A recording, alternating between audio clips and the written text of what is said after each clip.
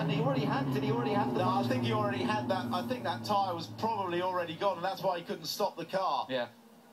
Yeah, so that's a great shame.